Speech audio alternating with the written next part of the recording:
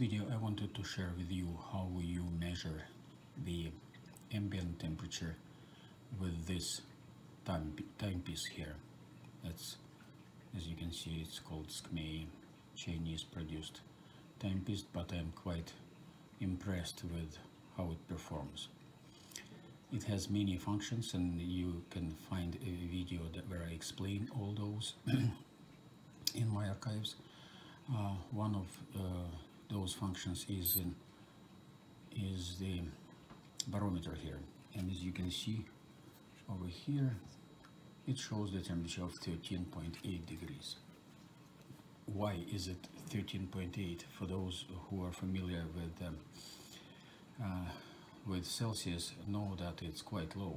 While I know for sure that the temperature in my room right now is 21 you would ask me why is it that this particular watch shows well let's say 14 right now. It's the temperature is increasing because uh, it is affected by uh, by the my hands holding it and uh, close to uh, close to the sensor over here.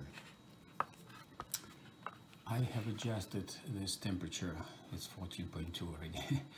Um, I have adjusted this temperature um, when it was on the wrist because I prefer to measure it while it is on the wrist and while when I put it on uh, on the bedside table or in my in the watch box I really don't care if it shows the correct temperature or not. Uh, but while I'm walking uh, around uh, in, in the house or especially outside I would like to know what the actual temperature is. And uh, you can do it um, even though it will people will tell you that you can only carry this watch away from your wrist otherwise the, the uh, temperature measurements will be affected and you can see that it is affected. While you and I are talking uh, the temperature keeps rising. Uh, used to be 13.8 it's already 14.5 just because I'm holding it in my hands. In any case if you want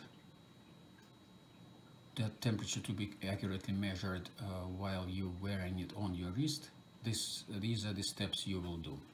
I will show to you what to do. So um, let's start from the beginning. This is the mode button. This is the home screen here.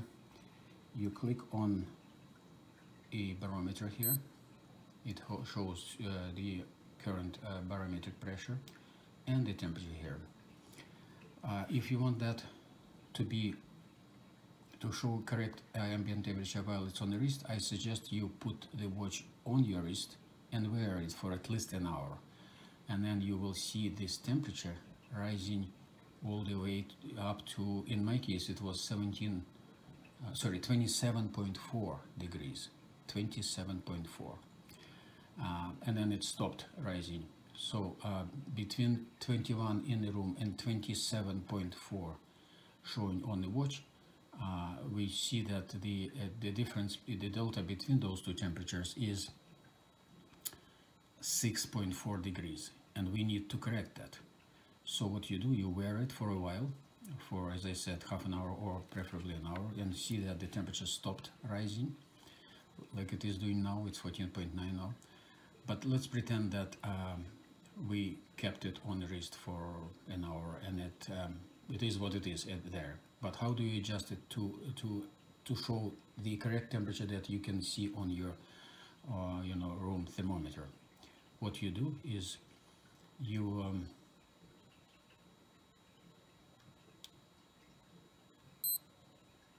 click on the top um,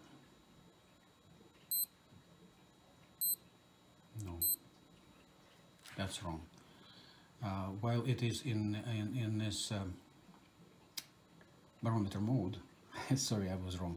Um, you click and hold the bottom left button here, this one. Click and hold it until you see this screen. That's the air pressure if you want to uh, and calibrate that. Then you click the same button again, you see temperature, right? Now, if you click here, you will see the temperature flashing. That is when you can start adjusting it by holding the top button here.